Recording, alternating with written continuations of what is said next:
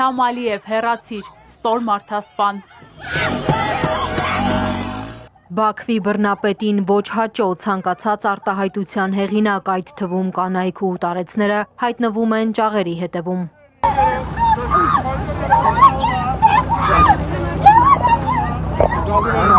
Ընդդիմադիր ժողովրդական ճակատ կուսակցությունը կառավարության շենքի դիմաց պահանջում է նախագահի հրաժարականը։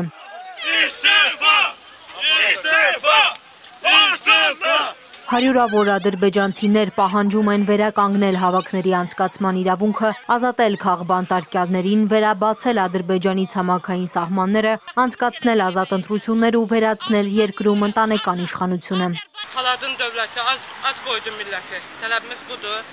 Դուք թալանել եք մեր պետությունը, ժողովրդին սովամահ եք անում։ Տարիներ շարունակ մեզ թալանել են, ճնշել, տարապում են մեր երեխաները, երիտասարդները։ Չենք կարող ազատ արտահայտել մեր կարծիքը։ Մենք դուրս ենք եկել մեր խոսքն ասելու, այս կերպ սպանելով, ձերբակալելով, մեր իրավունքները ոտնահարելով կյանքն անհնար է դարձել։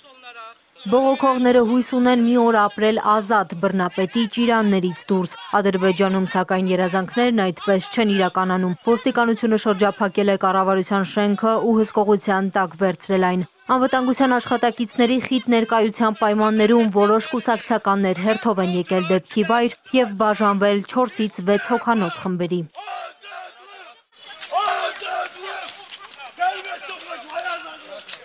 Մեկ ժամ չանցած բողոքի ալիքը ճնշվել է, ցուցարարներին տեղում բերման են ենթարկել։!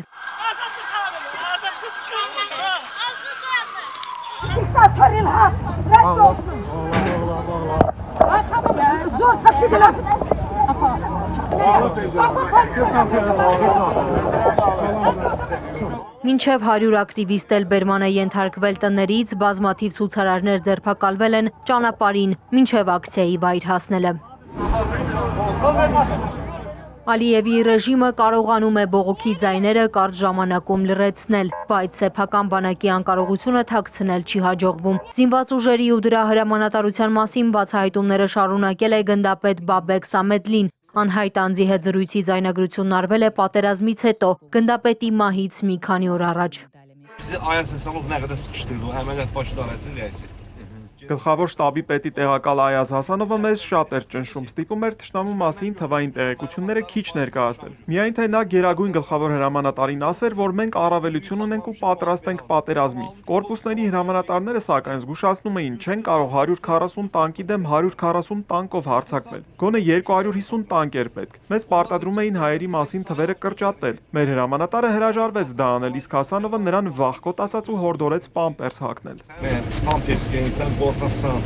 Զոհված գնդապետի հայտարարություններից պարզ է դառնում, որ թուրքերի օգնությամբ է ադրբեջանական բանակը հաջողության հասել։ Հակառակ դեպքում պատերազմը տանուլ կտային։ Ադրբեջանական կողմը ոչ տեխնիկապես, ոչ մարդուժով պատրաստ չէր կռվելու։. Զրահաբաճկոնները սաղավարտները չէին հերիքում։ Արկերը երկու շաբաթ հետո վերջացել էին։ Երբ գնում էինք կռվի 62%-ն ուներ բաճկոն, կապի միջոցով 49%-ն էր ապահովված։ Տանկերի միջից իրար հետ կապ չէին կարողանում պահել։ 7 հատ GPS էին տվել, բայց մինիմում 100 հատ էր մեզ պետք։ minimum 100 ədəd olmalıdır. Ադրբեջանական բանակի խայտարակություններին ավելանում է նորը, երբ պարզվում է, որ շատ զինվորականներ ծանոթով են գործի անցել ու անգամ քարտեզի վրա իրենց գտնվելու վայրը չէին կարող նշել։ Գնդապետ Բաբեկ Սամեդլին պատերազմի ավարտից մի քանի օր անց զոհվել է պայթելովականի վրա։ Պատահաբար թե ոչ, հայտնի չէ։